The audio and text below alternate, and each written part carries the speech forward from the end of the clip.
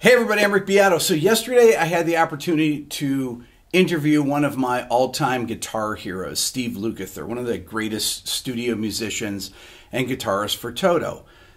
So when I sat down to watch the interview, I thought to myself, well, I'm referencing songs in the interview, and without context, that means nothing. So I'm going to actually play things in the middle of the interview, when I reference a song, I'm going to play the part that I'm talking about so you have context. So here's my interview with Steve Lukather. Rick, Rick, what's up, brother? Man, I can't believe that I'm meeting you in person right now, even though I've kind of communicated with you for a long time. Well, yeah. I mean, I thought we already knew each other in some way or shape or form. You know? well, we, we kind of do. Well, I mean, I know you through uh, through your playing for uh, the last uh, last oh. few years. Okay, man. Thank you very much, man. You do so many great players and do so many great things. The teaching, the sounds, the right voicings, the right. Oh, it's really, really cool stuff. I don't understand why anybody gives you a hard time. I mean, it's really, it ain't like you're selling bootlegs of Zeppelin in 1973 or something like that, you know.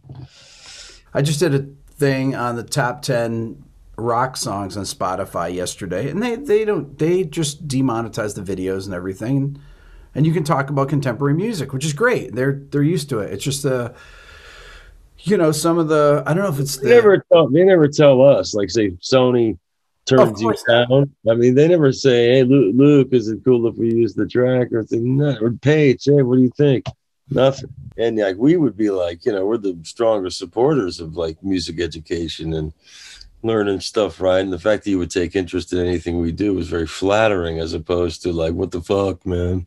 I mean, especially in an era when this is the only way you can get your promotion and your somebody's interested in your music, or maybe somebody wasn't and was interested in the piece of music you were teaching, they went, Well, let me look into this. You promote bands without realizing you are, or artists, whatever. Well, I think it's important to talk, if you're going to teach about songs, about songwriting, production, performances, you have to listen to the masters. You have to listen to songs that, that are the classic songs. And those are the things that I break down. I break down Rosanna or I break down uh, oh. Ramble Ramble On or something, you know. And, yeah, I've seen that. That was a really good one. those are they're fun. I mean, it's fun for me to do. A lot of time to really dial in the right stuff. I mean, it's not like you just picked up a guitar and said, "Yeah, this is how you play Ramble On." You know, uh, a lot more detail into that. I appreciate detail. I, I I know you appreciate detail. I got to ask you some things. Okay, first of all, as a session player, Steve, when you're in, when you're under pressure and you have to come up with a part, how do you do that? And and, well, and then perf- and then perform it perfectly. Well, these are that depends on who you ask. Um, that's the that was the job. You had to have an arranger's ear. It wasn't about oh, let me show you how I can play. I'll dig my chops or anything like that. That was like really an afterthought of afterthoughts. You had to like take a G, E, B minor, D and turn it into something. You know, they're not like they wrote out our parts. They expected us to come up with stuff that wasn't there because we all had a knack for that. We could also make it happen fast and play it in time and in tune and our instincts were usually pretty correct. You know, once Jeff got a take, which is usually right away, if anybody messed up, we just fixed the part you know, because everything else was just happening. And that's when in the days of the long fades, because everybody started letting loose and playing some stuff, you know, you kept the fades longer, you know, because you wanted to hear everybody jamming at the end. I tried to do that with my new record, but you know, I mean, uh, um, I, that's what I loved about all the records of my youth. You'd hear some of the greatest stuff on the fade outs, you know. Can't well, pro- can't well, program I, fade out, you know. Well, I uh, yeah, very few songs fade out now, but I I did this video where I picked the my favorite uh, you know, unknown guitar solos really, and and the top one was your "Running with the Night," Lionel Richie. Oh solo. man, that oh. that is uh, just a phenomenal solo. It's like a two minute solo at the end of the song. I was just noodling, man. This cat's just like I thought that was a rundown, man. You know, they recorded it, and I was like, okay, let's do it. And you know, now you're done. Come on, I played all over that. That's too much, man. You're gonna edit that shit out, right? Okay, for those of you that don't know this solo, "Running with the Night," it's off a Lionel Richie album, which came out in 1982, and the solo starts at four minutes and seven seconds, and Steve jams for two minutes. Check it out.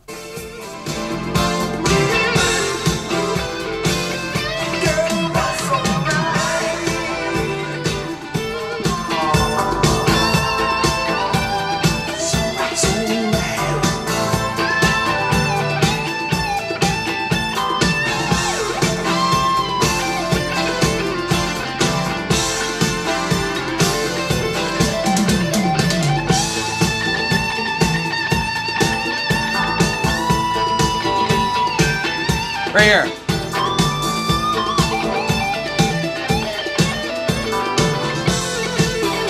Incredible flow.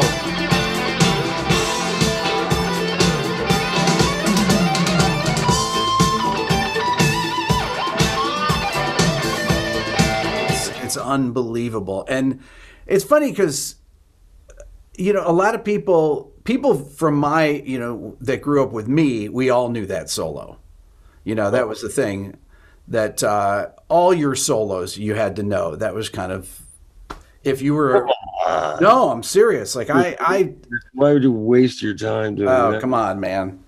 One of my favorite solos of yours is uh, "I Won't Hold You Back" because it's it works so well with the orchestration, and that's uh, James Newton Howard on that, right? Yeah, yeah, yeah. Well, that's interesting because when we went to cut the song, I didn't have a bridge at all. I'm sitting Okay. at Sunset Sound going, okay, what are we going to do for the bridge? I'm like, Paich is like, yeah, we're going to cut this one today. I'm like, going, wow, they want to cut my song. Fuck. I don't have a bridge. Okay. And I just sat at the piano and I just went there, wrote it right on the spot. And I said, okay, here's the bridge and here's how it comes out of it. Like they thought I had it all along. And um, I figured, well, I can just play the guitar melody over this and this will work real good. You know what I mean? It'll be real dramatic. Well, the Yeah. whole the Yeah, but the- arrangement with the horns, everything is incredible. Well, that was done after the fact, after we got the basic track, you know. And um, wow, James and Jave and Marty Paich really did, did a number on that, man. London Philharmonic, you know, all the guys from the Martin Ford Orchestra, all you know, the guys that play play with the you know the LSO. You know. Let me play the "I Won't Hold You Back" solo, so you know what we're talking about. This starts at 3:07. The song is off Toto 4. Steve sings lead on this. Beautiful line. Listen, and then what tone?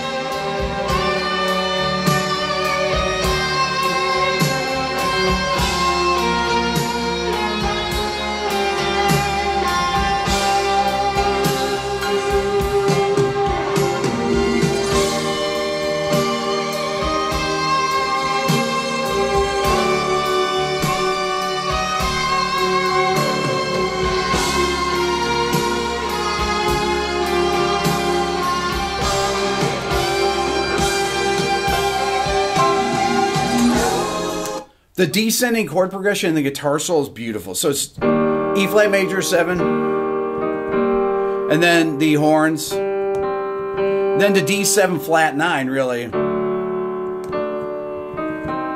the horns, and then with a sharp four to C sus four. Spent a lot of time writing that. About what was it, thirty seconds? See, it's about being a great improviser, right? well, you got no when you got to come up with something. You better come up with something. That's it. You know. What are some other guitar solos by other guitar players that you love?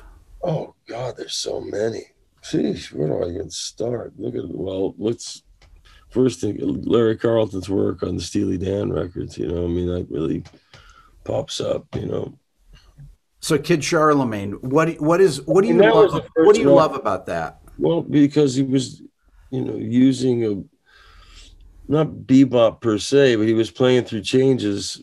You know, with a with a rock sound. You know what I mean? I thought that was pretty interesting. That's what that really sucked me in. Plus, I've always loved Steely Dan.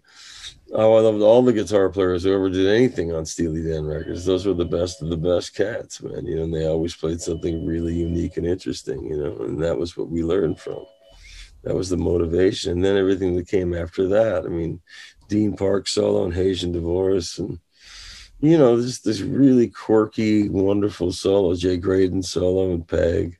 Amazing. You know, and you know, he's one of my best friends, and uh, you know, we all we're all still pals. You know what I mean? I think that's so great that you guys are uh, are all tight and uh, and yeah, sometimes you don't get to see guys like for I haven't seen Carlton in years, but I mean, you know, the respect is always there. You know we all move up. We're all getting older. We're all just kind of tripping out on life, sitting in our house, going, "Is it, is the sky falling today?" No, it doesn't seem to be. So, what are skills that players had back in our era? You're a few years older than me. I'm going to be 59. Um, that a lot of musicians today don't have. I wouldn't say all, but a lot are missing. Never you know, played the clubs. They never slogged it out. They never had to geek their own gear up the stairs. They never had to get play gigs where like three people showed up and honing the chops and still believing the dream, even though you get your nuts kicked in every night until it starts to build into something or you find the right combination of guys that something magical happens. Somebody writes a great song that writes another great song and you got something, you know what I mean? And then uh, you try to perfect that and get noticed. And that's hard because everybody in the world's trying to do that at the same time. Yeah, no, I mean, I I played for 14 years before I got in a real recording studio. You know, you know, I got in a little junior studio when I was like 12, but you know, real studio where I started going, wow, this is where it really happens. You know, and uh, the desire to do that. That and I learned about the skills it took because I got to meet the real guys through Jeff Porcaro, David Paich. What are things that, with the advent of Pro Tools or digital audio workstations and the ability to edit everything now, edit anything, any performance, do a million takes. I mean, you yeah. can do those things. I mean, does that, how does that affect people's ability to perform? Um, it makes it so anyone can make a record anyone. You know, a laptop and a celebrity, boom, instant record. I think Tim Pierce said that. I love that about him. Yeah. Uh, and that's pretty true. Because what, you know, it really, I'd love to see people do that with a band and see what it sounds like. It might be a lot better. Everybody, you know, it's, it's like a video game music with somebody singing a, a melody and a redundant hook, you know? Now that sounds like an old man. There's no guitar stuff on it. There's like guitar's not dead. It's very much alive. It's just not mainstream. And there's nothing new about that. What metal metal never slowed down, just right. depressed. But you see, you know, hundred thousand people in a field, you go, they have an audience. You know what I mean? And they should, because there's some best musicianship ever is in metal. It's a broad stroke. I know it's like saying rock and roll. the subgenres and all that stuff. But I mean, the musicianship level in these bands is astounding, and they're clever new riffs, and I mean, that's very impressive stuff. I mean, there's really impressive guitar players out there, that's for sure. That's I, I always say that some of the best guitar players uh, are around right now. There's some young young kids that have kind of reinvented different ways to you know new ways to play the guitar and the, the only difference is when people think that there's guitar music isn't happening it's just because there is no mainstream radio anymore right say it's you get spotify you have apple music you have these playlists that somebody's in charge of putting songs on and that's no i i, I believe me i'm well versed in all this i had to learn about it all but uh, you got to find new ways there's you know, it's never going to go back to the way it was. You kind of have to accept it as it is and make the most of it. Okay, let me ask you some uh, guitar questions, like specific guitar questions. Oh boy. Um, uh, no, this is actually something my brother John, who's a massive fan of yours, wanted me to ask you. He's like, he's like, are you? Have you interviewed Steve yet? And I said, no. It's like in a little while. He goes, can you ask him a question for me? I said, yeah, sure. He says, let me see here. Um, you've re- how has changing from active pickups to DiMarzios influenced your playing style? Well, I'm always. It, it doesn't really change the style per se, the sound it does, and maybe that makes me play a little different subconsciously. I don't know. But lately, I've been playing the new uh, Music Man pickups that they said, look, let us beat what you have so that it costs a lot of money, I guess. I mean, I don't know. These guys do the business. Um, I just wanted a great sounding guitar. So they sent me over a prototype of their pickups, and I just went, whoa, there's something to this. And I create, I was able to create almost a new sound, very pointy, interesting guitar sound on my new record and it really gave me that. And it has all the rest of the stuff in it. was very powerful guitar. Sounded cool, looked cool. So I said, hey, let's do this. So they're always wanting to improve and turn me on to stuff. You know, to keep the. You know, we've actually sold a lot of these guitars over the years. Thank you all to have uh, bothered. And uh, shit, I mean, I'm excited about it. How long would you spend tracking a Toto record? Let's say the early records that were all on tape. As little time as possible. But, but, but like, let's say one song. How long would it take to finish a song? Go up in the studio, Dave. Go. I got a song today. Plays it from the piano. Hungate or somebody writes out a quick little chord chart, and we're running the tune, and maybe take two or three, and that's the record. start overdubbing on it and making it sound more organ, double the guitars, you know, whatever it is to beef up the tracks we can listen to and go, wow, this is that's a song. It's not starting to sound like a record. So we've always recorded that way. Up until probably our latest uh, the last thing we did was which was uh, all in one. Um, that was done more piecemeal just because we were doing it to tracks that were already cut in 1981 and stuff like that. So that was a different way of doing things. But other than that, we just go out and play, man. And that's what cracks me up about when we take shit about, oh, you guys are slick, blah, blah, blah, blah, blah. Like, well, we actually played in the room. that's right. now you guys, everything with the line it up and tune it and melodyne it and, you know, you know. It seems absurd, right? Well, everything sounds too perfect. Right. It's just, you know, because it, it, it's all the rough edges are gone. There's not a, even the doubles don't have a rub, you know? When you're jamming with Ringo, do you ever look back? Now, you've known Ringo for years and years now, but do you ever look back and say, uh, he was in the Beatles? Yeah, all the time. like every time, right? Really, especially when he's sitting behind the drums. But when we're hanging, I less, you know. I mean, after nine years, it's like, sure, he's still that guy. Right. But he's also my friend, you know, and it's a different relationship. So when he's playing, like when I watch a video of you guys playing recently, you know, and he's, yeah. Uh, when he plays, it's just like, it's so obviously Ringo. Well, that's what I mean. I mean, yeah. there's only one guy. If you, and then that song was written for his birthday in July it just came out good. And I said, "Hey, man, can I can I put this on my record?" And he said, "Yeah, sure." So it's it's the one poppy song on my album. The rest of it's a little bit more '70s jam record. You know? What do you miss other than your friends that are no longer with us? You know, that one hurt. From uh, from that era, from the '70s, from the early '80s. Well, that's when we all came of age, really. That's when we were all like in our early 20s and things were happening for us. And we were just a little, little teeny little club, you know. It was quite a fun little club back then, I can tell you that. Um, and I miss all that zaniness and in the sense of I'd never do it again. But I mean, there were some incredibly awesome moments in the midst of the madness, you know and some great music was made and some great playing. I just kind of miss it like an older guy misses his youth. I mean, you know, I miss the fact that most, not most, but a lot of my best friends have died in the last couple of years.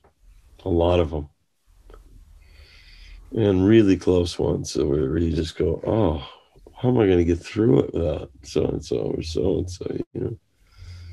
Everybody's going through this who lasts uh, as long. I hate to say it's going to start happening to you, but it will. It's part of the you know the circle of uh, wheel of life or whatever. I mean, I'm the I'm next in my life. I'm the patriarch of my family now, you know. So I'm like, oh, oh. when the is your will in order, Dad? I used to say to my dad. My dad passed away in 2004. I, would say to him early, you know, like in the 90s when he's in his in his 80s, and I'd say, Dad, what what you and mom going to move somewhere? You know, like maybe get a different uh, apartment or something. He's like, Rick, the next place I'm moving is Whitehaven. That's the cemetery he's buried in. Right. And uh, and that was actually true. Well, there you go. You got to respect a man who knows knows what he wants. Right. I thought it'd be funny, man. Somebody told me, my buddy Billy Mumy, the uh, actor, uh, he, he, said, you know, he was going to be married, uh, buried at the Hollywood Roosevelt. You know, that's where all the old stars get buried. He said the Toto dog from the original Wizard of Oz was there, and there was a plot near it that was open. And I said, "Well, that's where I need to be buried. I mean, come on, I'm gonna have that's right." And and the guy, the, the the, the who owns the joint, he goes, "Oh, that would be so good for our tour." like I'm not even dead yet, you know. I'm like, you know, Jesus. Oh God, you're gonna be buried next to Toto the dog. That's it's great to be semi-famous. oh man, that's that's uh that's pretty harsh there. Yeah, well, you never tell. It's all about the money, right. I want to ask you about uh, about jazz and bebop and players. Well, I'm, not an, I'm not an expert, but I'm a fan. No, no, but but just about how that you know, I would say a lot of the guys from from the session player, especially 60s, 70s, they very much came out of the jazz tradition or had teachers that were jazz players. Yes, sir. Yes, sir. And that's what deferred them from us. We were the rock guys that could play the other stuff. And we were young, and yeah, I played Les Paul and a fucking Marshall instead of a 335 you know, I did start when I first started out, had the small fenders and the 335 and you know, all the right stuff to be a session guy. But when I started not doing that is when I started to make a little bit more noise, you know. But that was the kind of delineation between the '70s guys, right? And then when you came on, yeah, is that the guys that were that were rock guys? Yeah, we were like you know we didn't look like you know guys that you know would wear suits and play in a jazz club at night so people liked our youthful energy. You know, Jeff Porcaro was our fearless leader. So whenever he, you know, and I got to do so much with him, and you know that was such a joyful thing, you know, because he just made everybody sound good. So you oh never had to worry if you were going to get a track when Jeff was playing, because he'd get a first track, first take, and go, okay, you guys fix your parts, start rolling a joint, you know we would do that. We go, well, his take is perfect. He's not going to play better. You the needed to cuff, fixed a couple notes. I missed like bar thirty. To, I missed the coda or something like that. I got to punch it in. So you, you do the you you play it out. He wouldn't even listen to the playback, right? He knew he got it. Well, we listened and we realized that his take was great, but we had a couple of fumbles in the rhythm section. You know, that's all. There's a lot of times we were making up our parts on the spot, so you hadn't maybe quite perfected it yet, but yeah. he did. And then you were able to perfect it and go, okay, I got it now. Give me one from the top, and I'd play it right. You know, there was no real race. Sometimes you get it right the first time. You know, and it was a great take, and everybody kept the parts. But there was there wasn't there was very little one guy at a time. I don't really remember that. Nobody wanted to do that. That was a waste of time and money if I asked you name one of your solos that you that you think, I know you probably don't like any of them, but if you had to, if I know you don't like any, okay, the least the solo not true. That's kind of. Okay, so what what is a solo that that you think is one of your best solos? Um, there's a song on a Toto 14 called 21st Century Blues. Here's the solo Steve is referring to.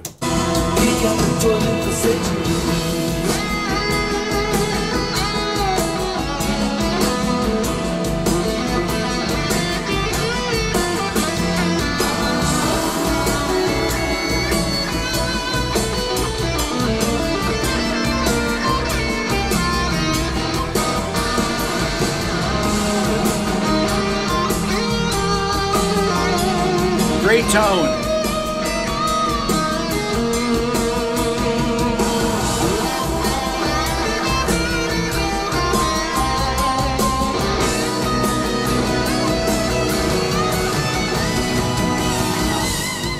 where I did my uh, best Larry Carlton.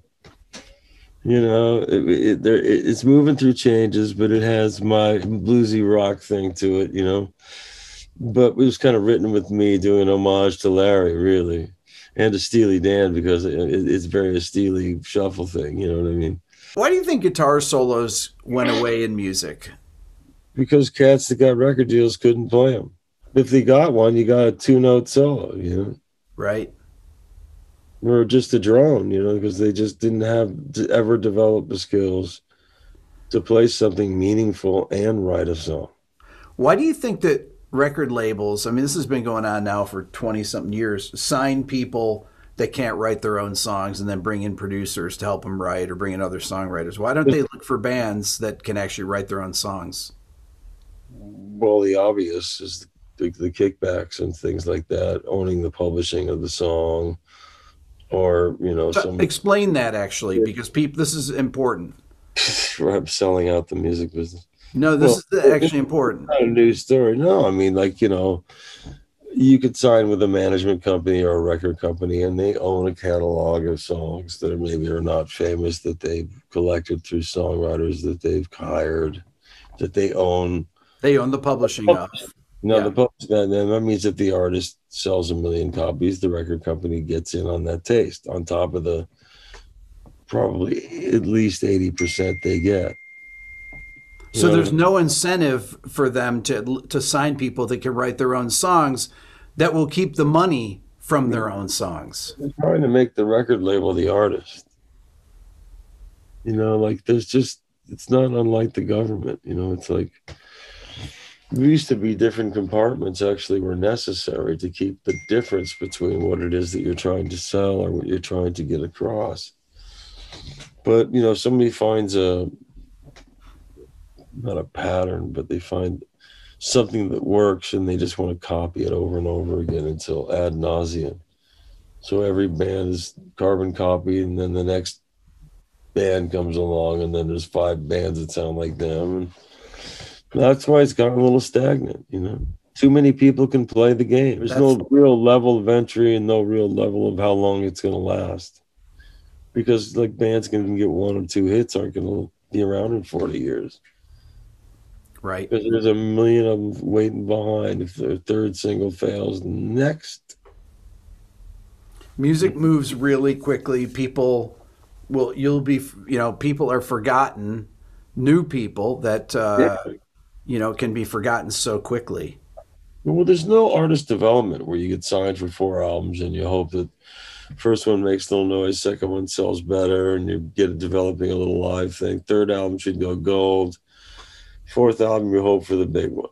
You know what I mean? You yeah. develop sound, a following organically. And a record company believes in you and puts the money behind you, and it's a roll of the dice. So that's why record companies could say, well, we're going to take the lion's share because we're taking the most risk.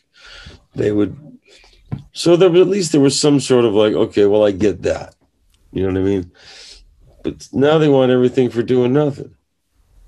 You got to do everything, and then they want to take all the take. They want to, they want a part of the, you know the toilet paper squares you leave on the floor in the dressing room. You know I mean? That's true. That's true. they want it all. They do. Wipe a booger on the wall. So got a guy in there shaving it off. You know? Right. That's uh, I got I got I got uh, fifty percent of that. Yeah, you know what I mean. Uh, but uh, yeah, man, thanks for having me on, brother. You know, I respect you so much. I'm a big champion of your channel. I talk about you actually in interviews. I go, I think when they ask me about well, you know people that you're interested in in the internet that you follow and learn from and stuff like that. I always put you, Greg Koch, and people like that up there. You know. Well, I really Jeff appreciate it. And Alan Hines and you know just these brilliant players out there, man. That just got so much to lay on. Man, Makes me want to pick up my guitar and try to figure it out. well, I, I really appreciate it, man. And, um, you know, keep up the good work, brother. Thank you. Fight the fight. I'm on your team. I'll fight for your ass anytime. I appreciate that. Nothing, I, like, I, nothing like a demented old man on your side. like, you don't have to play me. I could shake their hand or rip their nose off with my teeth. well, I look forward to hanging in person, maybe this summer or something. All right. You're my pal. I love you. Awesome. Take care, buddy. Thanks, Bye. Luke. We'll see you. That's all for now. Don't forget to subscribe. If you're a first time viewer, ring the bell. That'll let you know when I go live and when a new video comes out. Give it a thumbs up. Leave a comment. That's very important. If you're interested in the Beato book, go to my website at www.rickbeato.com. Follow me on Instagram at rickbeato1. Check out the new Beato ear training program at beatoeartraining.com. And if you want to support the channel even more, think about becoming a member of the Beato Club. Thanks for watching.